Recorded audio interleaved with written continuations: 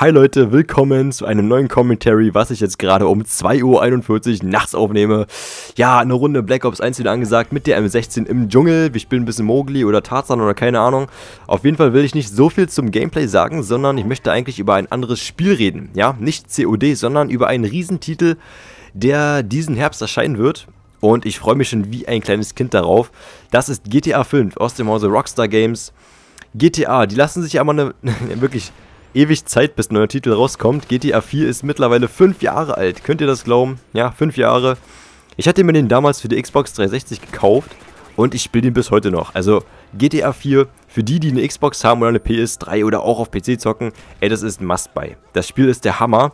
Hat auch einige Preise gewonnen und ähm, GTA ist sowieso immer so eine Serie, die, das ist einfach ein Muss für jeden Gamer. Du kannst an sich, die Story erstmal, die ist natürlich hammergeil.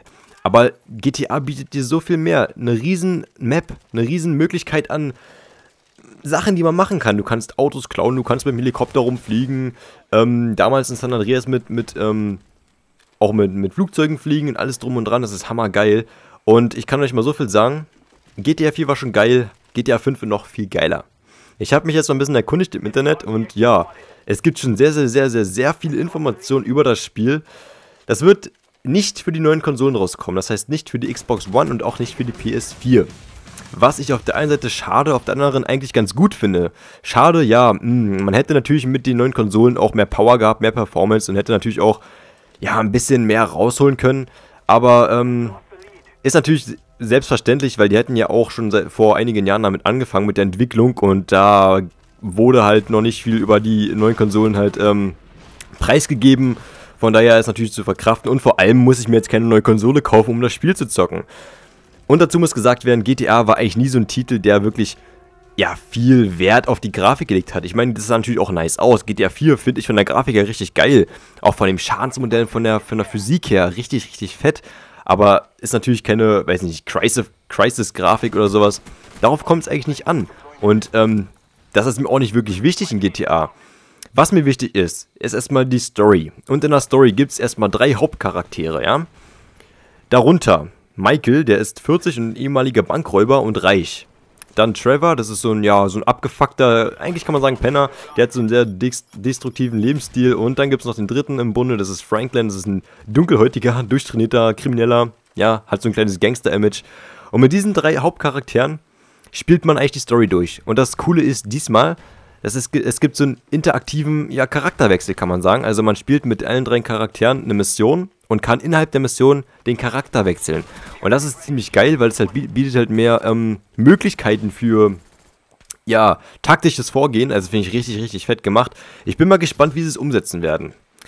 Aber erstmal vielleicht zur Location. Also GTA 5 spielt in äh, Los Santos. Das ist ein Nachbau von Los Angeles ja, ich meine, in GTA San Andreas gab es auch schon Los Santos, aber mh, hm, diesmal wird es größer, viel, viel größer. Und äh, zur Map-Größe komme ich gleich erstmal. Also die Location wieder schön an der West Coast, was ich richtig geil finde, weil, wie gesagt, San Andreas damals, damals ähm, die Location war der Hammer. Ähm, die, wenn die es jetzt wieder so perfekt umsetzen wie damals, ey, ich freue mich riesig. Und zur Größe, das hat mich völlig umgehauen. Also wenn, wenn das stimmt, was ich da gelesen habe, dann bin ich jetzt schon völlig geflasht und ähm, werde mir nach dem Video erstmal einen keulen. Nein, ohne Spaß, aber von der Größe her, das ist unglaublich. Also ich habe gelesen, das, das habe ich irgendwie auf, ähm, ja angeblich hat es Rockstar irgendwie gepostet, ich weiß nicht genau, ob man sich darauf verlassen kann, aber das ist der Hammer, weil ähm, es wurde gesagt, dass die Map von GTA 5 3,5 mal, also dreieinhalb mal so groß wird wie die von Red Dead Redemption. Das war ja auch ein Titel von Rockstar. Ich weiß, das haben wahrscheinlich nicht ähm, so viele gezockt, aber Viele von euch kennen GTA 4 und San Andreas. Und die Welt von GTA 5 wird größer als die Welt von GTA 4 und GTA San Andreas zusammen. Und GTA San Andreas war verdammt groß. Es hat ja drei große Städte, ähm, darunter Los Angeles.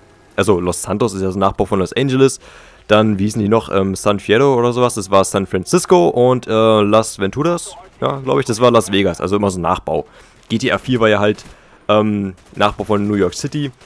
Aber allein die Größe von GTA San Andreas hat mich schon umgehauen damals. Und wenn GTA 5 größer als GTA 4 und San Andreas zusammen wird, ey, echt, das ist, das ist der Hammer. Das ist der Hammer. Und ähm, wenn sie das wirklich so, wenn das wirklich so groß wird, das, das, ich werde das Spiel so suchten. Ich werde, oh, ich werde nichts mehr machen, als 24-7 dieses Spiel zu suchten. Und ich freue mich auch schon so, weil ähm, ich habe auch gelesen, dass die extrem viele Fahrzeugmodelle reinbringen. GTA hatte schon an sich immer viele Fahrzeugmodelle gehabt, aber ich glaube, dieses Mal haben sie ein bisschen übertrieben. Und zwar gibt es über 400 verschiedene Fahrzeugmodelle. Darunter ähm, soll es auch wieder Flugzeuge geben, glaube ich. Boote natürlich, Helikopter, Autos, ist ganz wichtig. Motorräder. Und die haben zwar natürlich nicht ähm, die echten Marken, das kennt ihr ja auch aus den anderen Teilen. Ähm, da gibt es zwar auch so 3er BMWs und Audi A8 und sowas und keine Ahnung und Porsches, aber die haben halt andere Namen, aber ähneln halt den Marken. Ähm, was ich ein bisschen merkwürdig finde, weil einige von euch kennen vielleicht Midnight Club, das ist so ein Rennspiel. Da könnt ihr auch, ja, Rennfahren halt, ohne Spaß, aber die haben da, das ist auch von Rockstar übrigens, die haben da sämtliche Rechte. Die haben Rechte für Porsche, für, ohne Spaß, jede Marke eigentlich. Und deswegen verstehe ich nicht ganz, warum sie keine echten Marken in GTA reinbringen.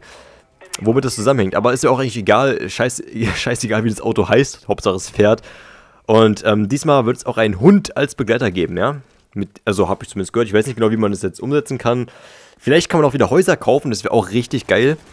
So wie in San Andreas damals, da konnte ja die Häuser mal kaufen. Ja, also nicht so wie in GTA 4, wo man die halt in einer, in einer Kampagne sozusagen geschenkt bekommen hat, sondern ihr könnt euch die Grundstücke echt kaufen. Hoffentlich wieder mit Garagen, das wäre auch der Hammer, dass ihr dann eure Autos abparken könnt und die ihr halt immer habt.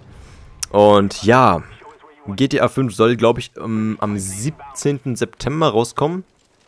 Wenn ich mich nicht irre. Ich habe das genaue Datum nicht rausgefunden, aber auf jeden Fall im September. Für die alten Konsolen und ich werde es mir auf jeden Fall vorbestellen. Ähm, vom Preis her weiß ich nicht, wie teuer das sein wird. Ich habe aber... Was, war das? Ich glaube, das hat mir Phoenix erzählt, dass es da so eine Special Edition geben wird. Da wird dann erstmal ähm, das Spiel natürlich drin sein, ja. Und eine, ein Riesenposter, eine Karte und ich glaube New Era Cap. Also so, so ein Cappy mit ähm, Los Santos drauf oder irgendwas war das doch, oder Rockstar, irgendwas war da auf jeden Fall drauf. Soll irgendwas bei 110 Euro oder so kosten, 130, ach, keine Ahnung. Ich erzähle gerade Scheiße, ich weiß nicht, wie teuer das ist, deswegen will ich euch jetzt keine Lügen hier auftischen, aber auf jeden Fall soll es sowas geben. Ich weiß nicht, ob ich mir das dann holen werde, ob sich das überhaupt lohnt, aber das Spiel an sich wird der Hammer, also, da, boah, da freue ich mich schon so drauf. Und, ähm, ja, seid ihr ein GTA-Fan? Habt ihr die alten Teile gespielt? Und für die, die nicht GTA 4 gespielt haben, ihr habt was verpasst, holt euch GTA 4 noch. Das kostet mittlerweile, ich glaube für Xbox müsst ihr da 20 Euro inblättern, wenn überhaupt, also neu natürlich. Ihr könnt es euch auch gebraucht holen, ist scheißegal eigentlich. Ähm, aber holt es euch, spielt es. Ich habe einige kennengelernt, die GTA 4 gekauft haben, aber nie die Story gespielt haben, weil die ersten Missionen ein bisschen langweilig waren. Ja, okay, ihr seid mit einem, ihr habt echt ein Taxi gespielt, ihr seid bloß mit dem Auto rumgefahren. Aber ey, das Spiel und die Story ist hammergeil, das, da, da habt ihr was verpasst. Da habt ihr echt was verpasst. Und GTA 5 wird noch geiler. Da bin ich mir hundertprozentig sicher. Und ich freue mich riesig drauf. Ähm, schreibt mal in die Kommentare, freut ihr euch auf GTA 5? Holt ihr euch das? Wenn ihr euch das holt, für welche Konsole? Für die Xbox, für die Playstation oder doch für den PC? Hm? Also schreibt es mal in die Kommentare. Ich bin auf... Ja, ich bin gespannt, wie viele jetzt hier darüber bisschen labern wollen, weil GTA ist einfach ein Riesentitel und ähm, ja, haut in die Tasten, was das Zeug hält. Ich habe ein 28-4 gespielt. Keine Ahnung, ich sehe es gerade nicht richtig, aber ist auch egal. Ähm, ich bin erstmal raus, wünsche euch einen schönen Tag und ja, schreibt in die Kommentare. Bis dann.